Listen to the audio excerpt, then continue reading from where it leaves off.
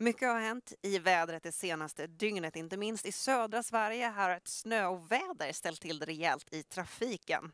Och störst mängder från tisdag morgon till onsdag morgon det hittar vi i Västergötland. Flera stationer har här uppmätt runt 30 centimeters snödjupsökning.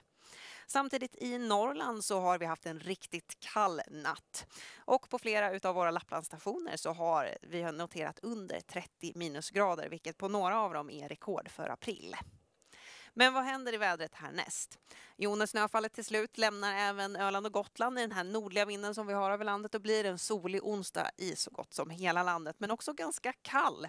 Och framförallt natten emot torsdag, då faller vi åter ner på rejält på minussidan och i norra Norrland så kan vi lokalt åter falla till under 30 minusgrader.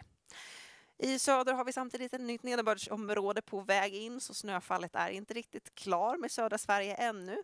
Utan torsdag, natt mot torsdag, torsdag morgon så börjar snöfall på nytt röra sig in över västra och södra Götaland. Och i samband med det så gäller en gul varning för vind i kombination med snöfall under torsdagen och det i delar av Västergötlands län.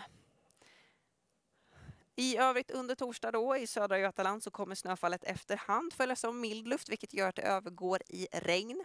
Det sprider sig också norrut över Svealand och når till eftermiddagen östra Svealand. Så småningom så når det även upp över södra Norrland och därför ökar molnigheten här. Medan norra Norrland får en solig dag med lite stackmoln som kan blomma upp fram på dagen.